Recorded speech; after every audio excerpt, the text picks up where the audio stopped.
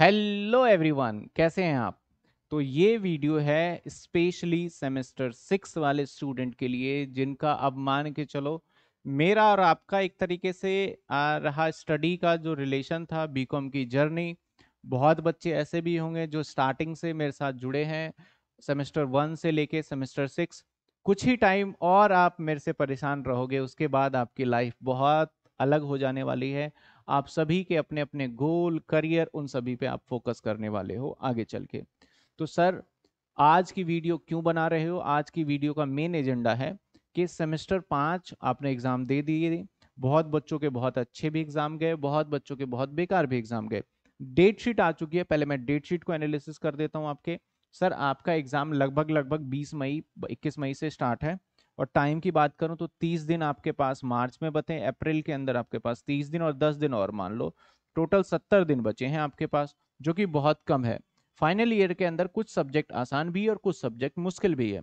तो होपफुली मुझे अब आप इतने मेच्योर्ड हो चुके हो ना कि मुझे ज़्यादा कुछ समझाने की ज़रूरत नहीं है कि टाइम कम बचा है, ये स्कोरिंग है, आपको फाइनल ईयर में स्कोर करना चाहिए ताकि आपके पीछे के अगर स्कोर कम रह गए हैं तो अभी से आप उसको कंपनसेट कर पाओ। क्योंकि बीकॉम के अंदर आपके ओवरऑल एग्रीगेट परसेंटेज काउंट होते हैं, ना कि आपके इंडिविजुअल सेमेस्टर के पेपर, ठीक है ना? एटलीस्ट आपको कम से कम, जिन बच्चों के 50 परसेंट नहीं आए, उनका मान के चलो बहुत बेकार है वो तो फिर उनका ग्रेजुएशन करना ना करना एक बराबर ही रहेगा। तो 50 से ऊपर है तो एक हेल्दी परसेंटेज है। आप आगे चल के सीए में डायरेक्ट एंट्री भी ले लोगे, आगे चल के सीएस में भी डायरेक्ट एंट्री ले लोगे, आगे और भी बहुत अच्छे अच्छे कोर्सेज को कर पाओगे। आपके मान के चलिए आप 50 से 50 तो मिनिमम है 50 से ऊपर जितने अच्छे आ जाए, वो बेटर है। तो आपकी डेट शीट आ चुकी है बहुत पहले आ गई थी डेट शीट मैं सोच रहा था, लेकिन काफ़ी बच्चे परेशान भी थे, कि सर समझ नहीं आ रहा। तो ये प्रोग्राम का है, और ये सिर्फ़ एस वालों की डेट शीट की मैं बात कर रहा हूँ। सर प्रोग्राम एस के चौबीस मई से स्टार्ट है, फिर सत्ताईस, फिर तीस, फिर तीन। यानी सर 24 27 दो दो तीन तीन दिन की छुट्टी दी गई है। ये एडवर्टीजमेंट पर्सनल सेलिंग है, जो कि है एस के अंदर दिया हुआ है। Principle of micro economics micro economics जो है, ये कोर सब्जेक्ट में डाला हुआ, उन्होंने इसमें ऑप्शन नहीं दिया तो पढ़ना ही पढ़ना है। सर मैनेजमेंट अकाउंट ऑप्शन में जिन बच्चों ने मैनेजमेंट लिया, भैया, पढ़ना चालू कर दो। नहीं तो फिर ये प्रैक्टिकल सब्जेक्ट है। फिर आप प्रॉब्लम में आ सकते हो एंड टाइम पे। थ्योरी में भी आ जाते हैं वैसे, लेकिन प्रैक्टिकल में फिर आपको कॉन्सेप्ट पूरा क्लियरिटी होना बहुत ज़रूरी है ओके इसके बाद फंडामेंटल ऑफ़ इन्वेस्टमेंट ये भी प्रैक्टिकल सब्जेक्ट है। ये तो इतना इंटरेस्टिंग सब्जेक्ट है जो कि आप पढ़ोगे तो पता चलेगा पूरा का पूरा स्टॉक मार्केट जो कि हर जनरेशन को हर चीज़ के बारे में पता होना चाहिए स्टॉक मार्केट के बारे में ज़रूर पता होना चाहिए उनको, ठीक है ना? तो इंटरनेशनल बिज़नेस हमारे पास ना, देखो वैसे तो मैं यूट्यूब पे आपको शुरू से पढ़ाता आया हूँ तो मुझे बोलने की ज़रूरत नहीं है कि ऐसे ऐसे क्लासेस आएँगी। बाकी मैं लाइव क्लास का एक बार आपको बताना चाहता हूँ कि प्रिंसिपल ऑफ़ माइक्रो इकोनॉमिक्स की हो रही है, मैनेजमेंट अकाउंट की, फंडामेंटल, इंटरनेशनल, इन सभी के लाइव क्लासेस अब स्टार्ट हो चुकी है, यानी बस आपको एक सब्जेक्ट की टेंशन लेनी है बीकॉम प्रोग्राम वाले बच्चों को।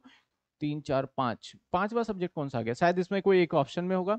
तो इन सब्जेक्ट जो हम पढ़ा रहे हैं, चार सब्जेक्ट तो हम टेक केयर कर ही रहे हैं तो इसकी क्लासेस ले सकते हो। क्लास की फ़ीस 500 है, वही लाइव क्लास हाँ इसके अंदर बहुत सारे सब्जेक्ट हमने इस बार इंट्रोड्यूस किया जैसे कि ऑडिट जो है या फिर और अलग सब्जेक्ट है, वो इसलिए पुरानी रिकॉर्डिंग आपको यूट्यूब पे बहुत जल्दी नहीं मिलेगी, इसके लिए रियली मैं सॉरी बोलना चाहूँगा, क्योंकि पहले हमारे पुरानी रिकॉर्डिंग था तो बच्चे अगर लेट हो रहा है तो मैं बोलता हूँ, पुरानी डाल दो, बच्चे देख के तो पास हो जाएँगे। लेकिन इसके अंदर थोड़ा सा डिले वीडियो रहेगा, उस चीज़ को थोड़ा सा आप भी समझिएगा, और आप इतने टाइम से समझ रहे हैं तो बस थोड़ा सा समझना पड़ेगा।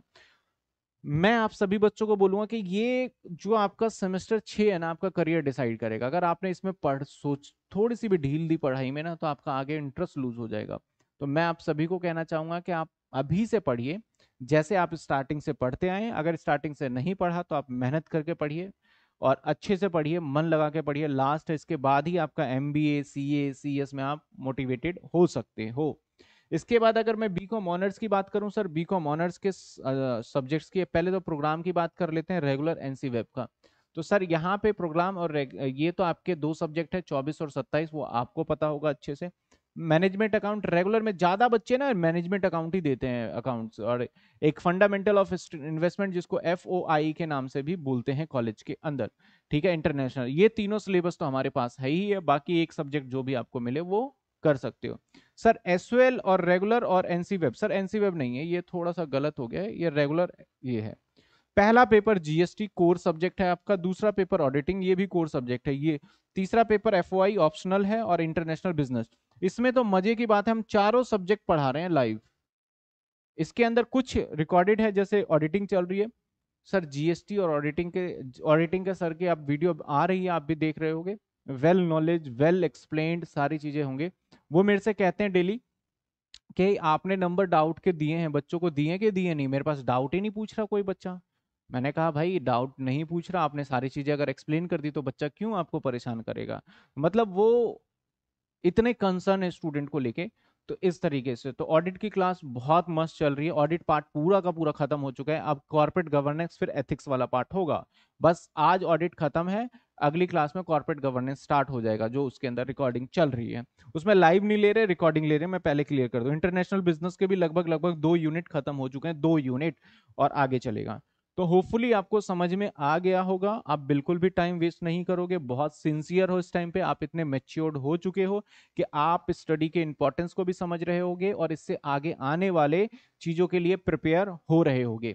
मैंने आपको इसी तरीके से क्या कोर्स लेना चाहिए, नहीं लेना चाहिए, इसके पे ऊपर भी वीडियो लेके आऊँगा। होपफुली आपको क्लियर हुआ होगा। सभी के सब्जेक्ट आ गए हैं सर कोर्स की फ़ीस मैंने बताया कि सर, एक तो लाइव क्लास कुछ के हैं, कुछ के नहीं, जैसे कि मैंने बता दिया। इसके बाद सर डाउट सभी में मिलेंगे आपको। डाउट मिलेगा प्लस में पीडीएफ नए एप्लीकेशन लेके आए हैं हम, और अभी डाउनलोड अभी कल तक आपको अपडेट मिल जाएगा। किसी भी स्टूडेंट को लगता है कि सर मुझे कोर्स के बारे में थोड़ा सा भी जानना है, बिल्कुल भी बेझिझक, थोड़ा हमें भी परेशान कर लीजिए आप। डिस्क्रिप्शन में दे रखा है व्हाट्सअप नंबर सीधा लिंक पे क्लिक करिए, क्लिक करके आप कुछ भी इंफॉर्मेशन पूछ सकते हैं कोर्स से रिलेटेड, आपको मिल जाएगा। एक कोर्स का जो प्राइस है वैसे तो वहाँ ज़्यादा शो होगा, मैं कहूँगा आपको पाँच सौ का, फाइव का एक कोर्स आपको मिलेगा। हमारे ऊपर क्या कॉस्टिंग आ रही है, छोड़िए, क्योंकि जो जीएसटी पढ़ा रहे हैं, वो भी एक चार्टेड अकाउंटेंट है ऑडिट पढ़ा रहे हैं, वो भी एक चार्टेड अकाउंटेंट है, और जो आपको इंटरनेशनल बिज़नेस पढ़ाएँगे, वो भी वेल नोन है। तो उस चीज़ को छोड़िए, मैंने सोचा कि यार जो बच्चों से स्टार्टिंग से स्टैंडर्ड हमने बना रखा है, वही लेके चलेंगे। तो होपफुली आपको समझ आएगा, और यूट्यूब वाले बच्चे बिल्कुल भी नाराज़ ना हो यूट्यूब पे भी वीडियो आएँगे। तो मिलते हैं हम नेक्स्ट वीडियो में। थैंक यू सो मच दोस्तों को बता दीजिए। बहुत जल्दी सभी में न्यू चैप्टर स्टार्ट होंगे। आगे हम वीडियो लेके आएँगे। Thank you so much